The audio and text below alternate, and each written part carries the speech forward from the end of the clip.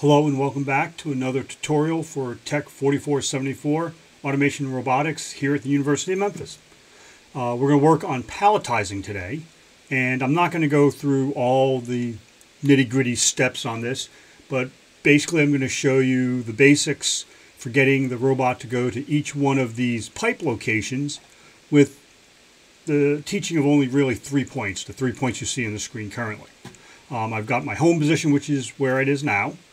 I've got the approach position, which is above the, the piece of pipe, and a pick location, which is inside the piece of pipe. I'm not going to worry about doing the logic for opening closing the gripper, or even really placing the parts, because the logic is functionally the same, just kind of in reverse if you think about it. So discussions in class have included need to do kind of housekeeping at the top of your program. And so we're going to do a couple of things. One of them is sort of a safety net in case you mess up your program.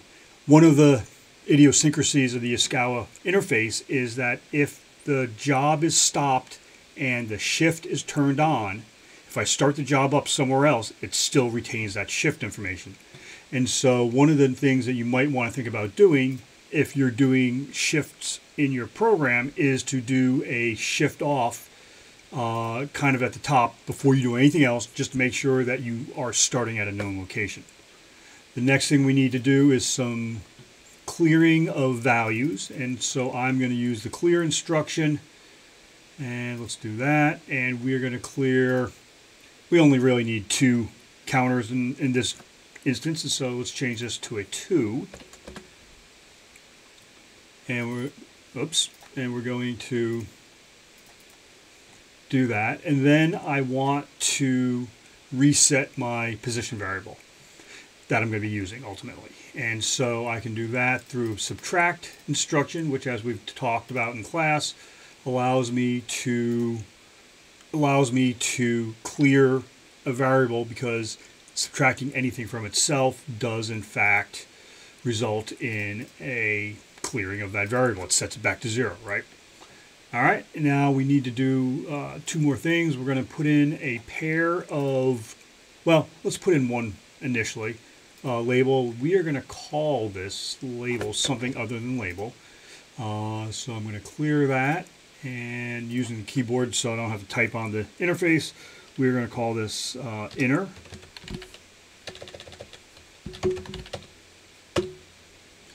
and you'll see why I call it inner in a few minutes. So once we've done that, we can come down, we have our moves.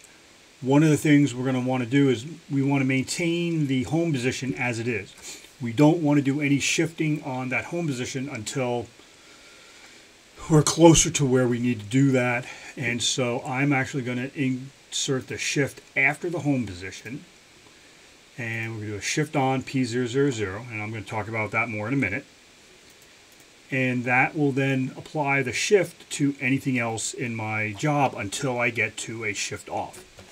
I'm going to leave that alone for the moment and we're going to go over to our variables since we're kind of dealing with them and in position if I go to P000 it has a value from when I was doing some other stuff so I can come down here and change that back to a zero just for simplicity's sake. P001 is going to be our movement in the negative x direction because remember x plus minus is forwards and reverse here. Y plus minus is left and right. Um, and we happen to know these are 65 by 65 on center. And so I want an x of negative 65 there. And so I'm going to move, but because my position is cleared the first time I do this, my approach and my pick locations will still be the same. I'm going to come down. I would now need to do my logic for opening and closing the grip, gripper. And so I'm going to just put in a comment here to indicate that. And instead of programming, I've just done that. And then we've picked it. We're going to now need to retract. And so I can come over here and select that, edit, copy, and I can use my approach same as my retract position or my retreat position, depending on what, how you want to refer to it. So I've picked it. I'm grabbing it. I'm, remo- I'm moving away from it. And for the purposes of this simple program, we're going to go back up to the home position. Uh, but again, because I don't want that home position to be modified with the shift instruction, I'm actually going to insert my inform or my uh, shift off instruction here. And then I can do my home position. And again, I'm going to just copy that and come down to here. We're going to paste that. And so now our logic is to go to home, approach, pick, grab, uh, retreat, turn off the shift, go back to home. Now we can put in our logic to say, do I need to jump back up to the top again? So I'm going to go control, jump, and we're going to change this back to inner, and we're going to change that back to zero. Less than four, because we're going to do four of these. And so now we jump back up to our inner instruction if that's happening. So we can test that real fast and it's going back and forth to the same location because we haven't done our addition on the position uh, shift yet. But it should only do it four times. Well, actually it's going to go forever because we forgot to put that in. Okay, so there's our jump. Uh, we're checking for that. However, we need to, before we do that, we need to increment our counter so we're increment B000, insert. And so now we're going to move to home, increment a counter. Check that. We also need to increment our shift amount. So we need to insert into here logic to increment our position variable as well. And so go to inform, arithmetic, add. Got to make sure this is set to P000 and P001 and we're going to insert that and a reminder if we were to want to do that and these were not P000 on the root instruction here where it says add I can come up here come over to the down arrow here hit select and make sure that is set to a P. And so that's already there. So now we're going to increment our counter we're going to increment our position. Uh, remember we set our position variable of P001 to negative 65, which is that value there. Now, if we were to test this, it should go to the first one and then march its way back. And it's doing that, as you can see. And then it's done. So that is the first row. We need to do the second row. That is why I called this inner. We are going to add another label here called outer. And we can call them something else if we want to. Those are the phrases that make sense to me. We could we could call it X and Y. Doesn't really matter. So cancel. I'm going to type it in because it's easier. And we're going to insert that. And then we're going to come down here. So after we've done our four tests, we got to the fourth one. We realized, oh, hey, we're done. Time to shift over to the next row, next home, whatever you want to call it. And so we are going to need to do a couple things. One of them is we need to reset B000. So that is going to be a set B000 to select to a value of 0. So now that we have it set to uh, set B000 done, we also need to tell the system to increment the Y information. So inform, form again, we're going to go to add again, and this time, instead of P001, we're going to use P002. Now, what I'm going to do here, and I've already actually done, is set the Y value to 65. So plus Y is left and right, or is left, or to the right here. Um, and so this is 65 here, this is 65 there, uh, in both directions. And so now it's going to set that back.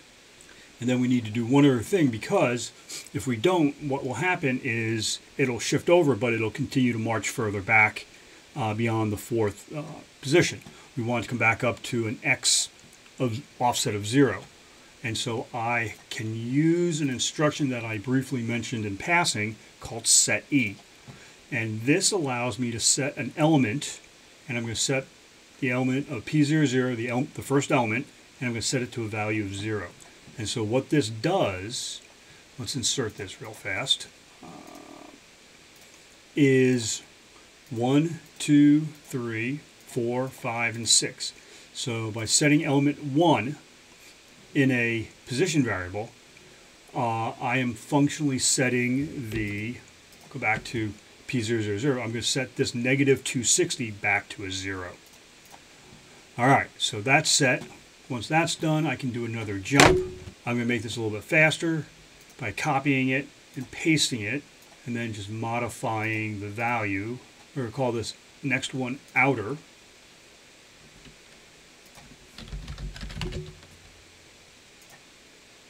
And we're going to set this to a value of 2 because there's only two columns. All right. And so the last thing we need to do is add the incrementer for B00. Whoops, I forgot to change that. Uh, for B001,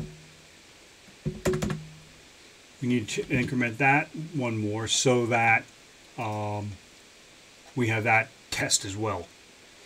And so now I can come up to here and I can add another increment instruction and we're going to set that to B001 instead of B000 and that will now give us the ability when we come through here after we've done B000 four times increment that increment that well reset that excuse me increment that add that set our X offset back to zero and do our jump if we're less than two on there so let's go ahead and run our job now.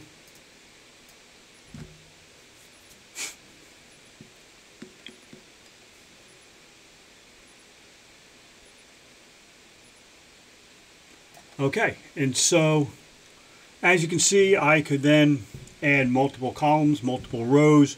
I can even reset everything back and do multiple layers. Um, I can set my P001 to the X value, P002 to the Y value, and P003 to my layer or my Z values. Um, I can do the exact opposite for unloading, and that is pretty much everything I wanted to show you in this uh, video. A little longer than I was hoping, but not too bad. As always, thanks for watching.